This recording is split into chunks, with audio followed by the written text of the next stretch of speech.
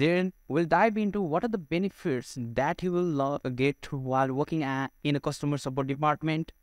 Then we'll talk about some of the few tools that I use personally that if you use can also boost your productivity.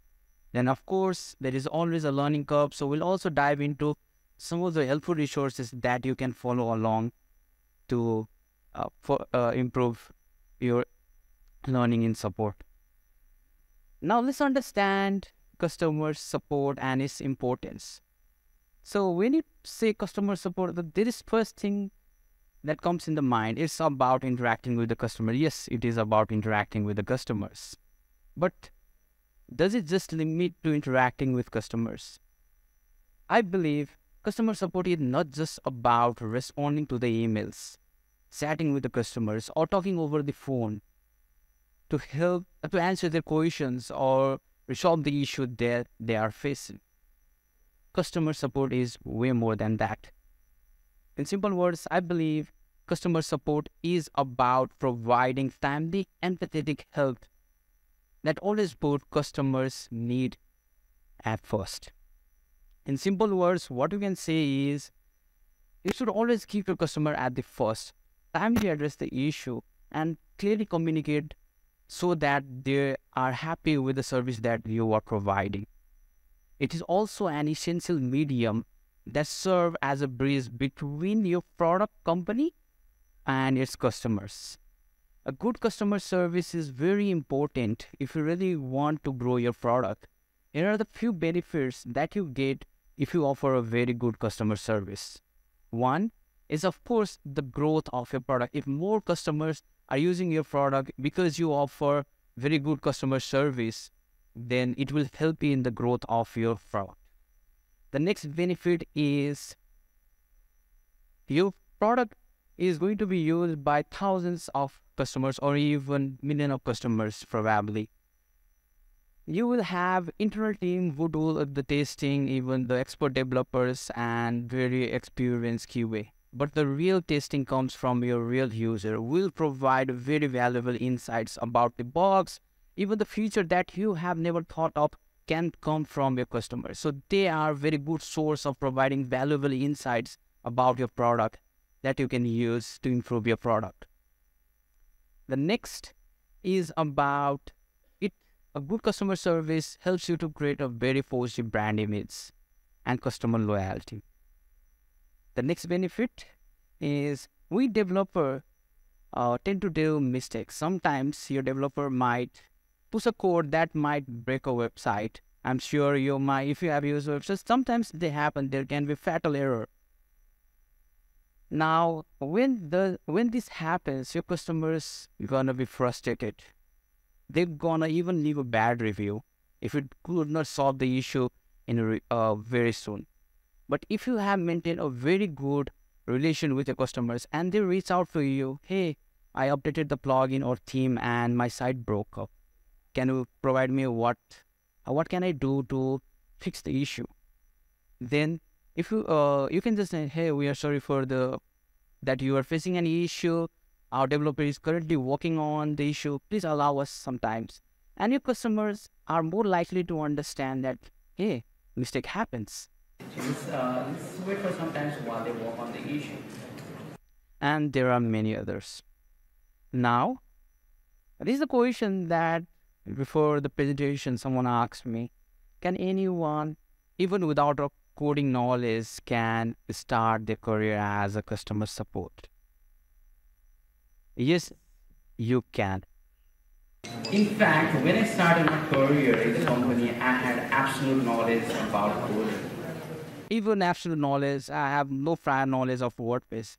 I could join the company and then launch. So even if you don't have any knowledge about WordPress, you can still start your career as a customer support representative. But there are certain skills, soft skills that you need to acquire. So let's dive into what are the skills you need.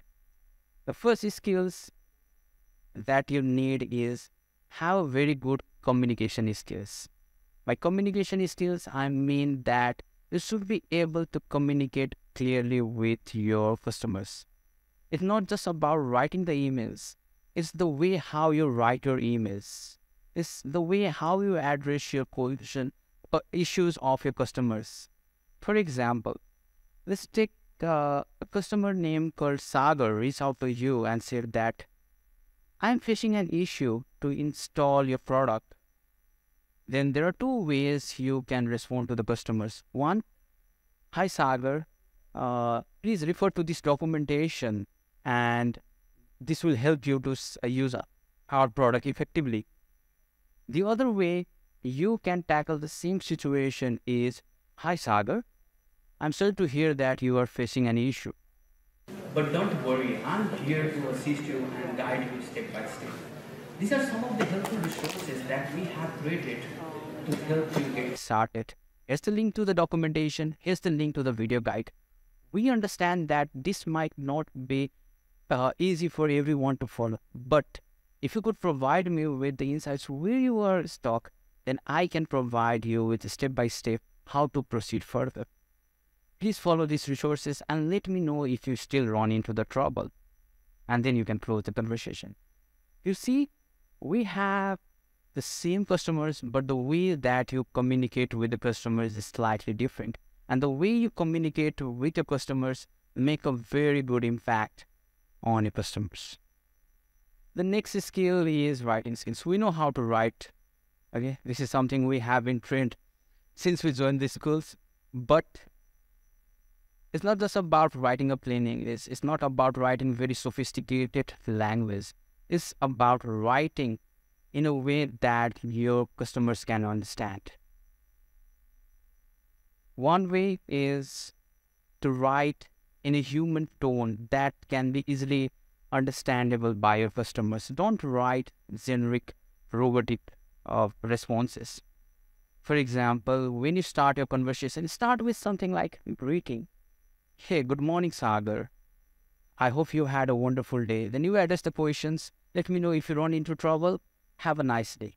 The next day, when you would uh, respond a ticket on a after a weekend, you can say, "Hi, Sagar. I hope you had a wonderful weekend. I'm back on the work. I'm back to the work, and let me see the issue that you are facing, and then you can address. The way you communicate with the customers will have profound, uh, profound impressions on how they're gonna see how you interact and how they're gonna see your product. The next skill that I emphasize is having a self-control and a patience when you interact with the customers, you will come across a different level of customers who might be absolute beginner, who might be really happy with your product, who might be even frustrated, or to take the level extreme, you might even come across the customers who might say bad about a bad word about your product and even uh, uh, like abuse you. That has been the case. But in certain cases also, you do, you don't need to lose your temper no matter how rude or how frustrated they are. Kindly address the issue they are facing. Use soft tone. Let's take an example. Someone reaches out to, hey, I'm not happy with your product. Please issue a refund. Instead of sending a ref- if you have a refund policy, instead of sending the refund policy directly, you can say, I'm sorry to hear that you are facing issue. Uh, I'm here to assist you. Can you please let me know what are the issue that you are facing? And I'll be happy to jump in. If you are not happy with our product, uh, please let me know and I'll be happy to issue the refund. Now, if you if you had sent this uh, refund ticket, the customer will see that hey, this company doesn't care about me. They are not even trying to solve the issue that I am facing. So why should I use this product? But when you try to help them to solve the issue, then they will even, who knows, they might even give you a chance to solve the issue. And the next skill is about attentiveness. When customer reaches out to you, clearly understand what kind of user they are and try to address the questions they are trying to ask. There might be a user. If you have, if anyone is in the support, you might come across a user that will try to install the theme by going under the plugins. So if you send a documentation, hey, this, uh, that, and very complicated documentation, they're gonna feel lost. So you need to understand what kind of level the user is and then craft your uh, support ticket in a way that they can understand. Take a step further. If you feel comfortable, just record a video and then send them. Send them. The other thing you can do is uh, sometimes uh, any decks or something like that can be even taken. Always experiment. And of course, I always emphasize how important it is to mend the decorum of your speech. Always use positive language like greetings, wish them wonderful, uh, like on their festivals.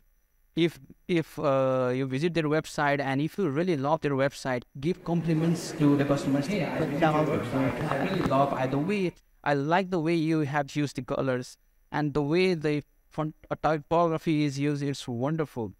Sometimes, if you notice an issue on your customers, uh, and then what you can say is, "Hey, I see that you have made a wonderful website, but I noticed this tiny issue. Let's here's the quick fix that you can follow along." Now, of course, when you work, you'll uh, also need to have a product and tech stack knowledge.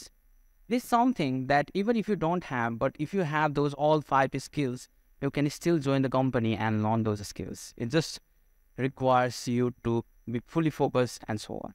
Now, we talk about the skills uh, that you need, and there are many other skills, but I think those are the skills that you need to start there are certain benefits that you also get as of working in a customer support department.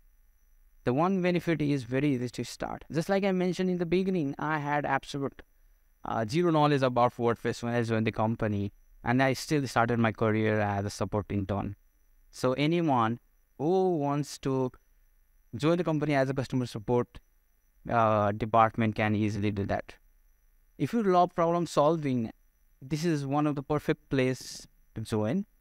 Since you will be interacting with thousands of customers, you will solve the issue that they are facing. So it will also help you to develop your uh, subconscious thinking to help uh, solve different kind of uh, issues. Then it's not just about professionally, you'll also learn some of the valuable skills that will also help you personally, like interpersonal skills, empathy, and also make you a very good communicator. The other benefits that you get is it also do, uh, opens a door for lots of opportunities. Today you are working on in customer support department. Let's suppose you want to transition to a quality assurance engineer. You can do that because you already have a very good knowledge about the product. Then if you are interested into copywriting, the way you interact, the valuable insights that you get, you have, hey, these are the things that they are doing. So you can also go into copywriting. You can also go into design and so on. It also depends on how you leverage the insights that you get. And of course, if you love reading books, this is the, uh, one of the uh, good book that I have read, The Six Discipline of Customer Experience. That's all. If you like to connect me on LinkedIn, here's my LinkedIn profile. Now, if you have any question, please feel free to ask.